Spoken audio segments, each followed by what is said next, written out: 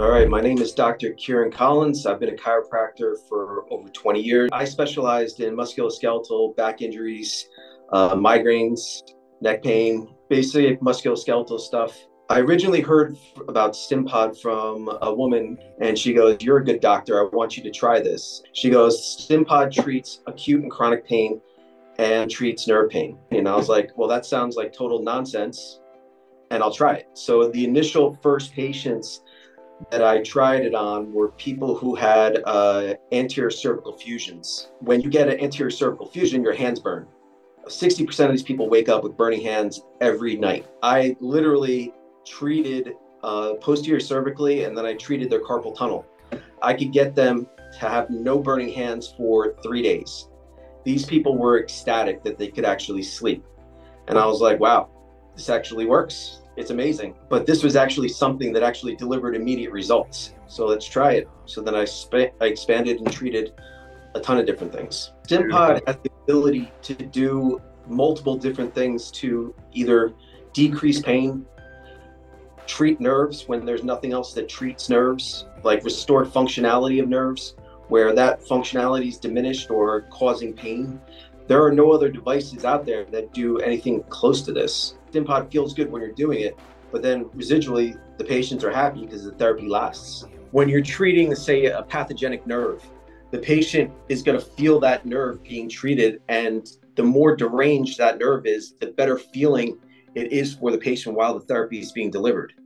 So the results are virtually immediate. I've treated 20 conditions that I never treated before. I mean, currently, I get referrals from a neurologist for trigeminal neuralgia, Bell's palsy, Horner syndrome, anything that's quote unquote weird, and they have no idea what to do other than prescribe gabapentin, which doesn't work.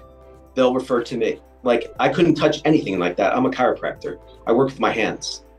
With StimPod, I can actually treat people's nervous systems, systems and have a residual effect.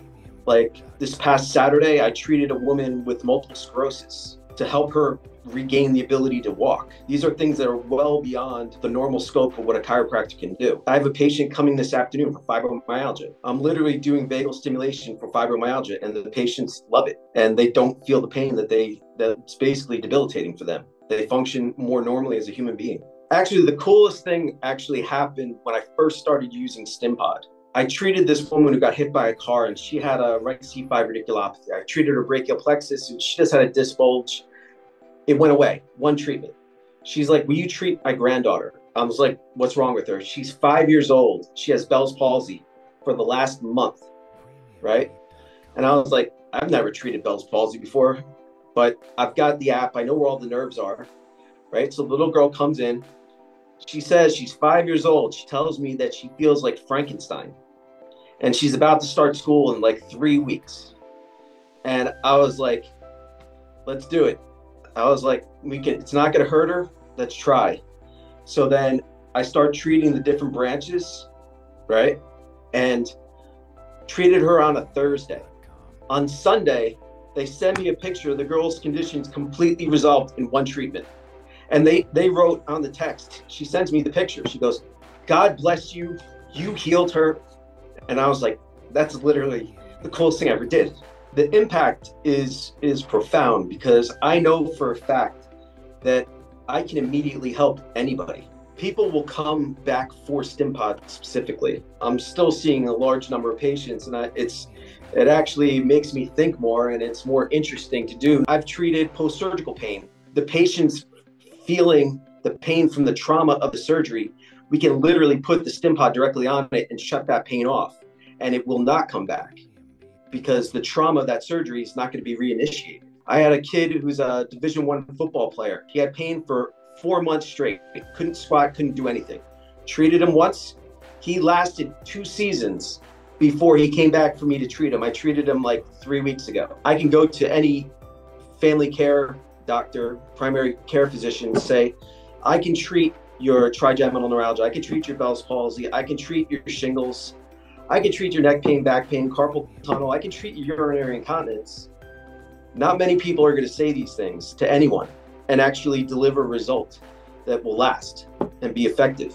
And it's not drugs and it's over for the most part. Like I have no trepidation on treating anything. Like you give it to me, yeah, great. I'll treat it. I'll figure it out.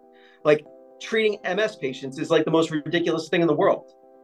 Like making these people function again, to hold their pee, to eat, to walk.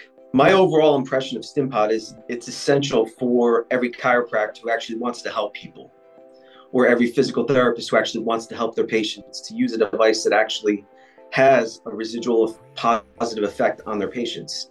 You're going to basically get people out of pain virtually immediately and they'll be happy. You're just basically doing the job you're supposed to do all along.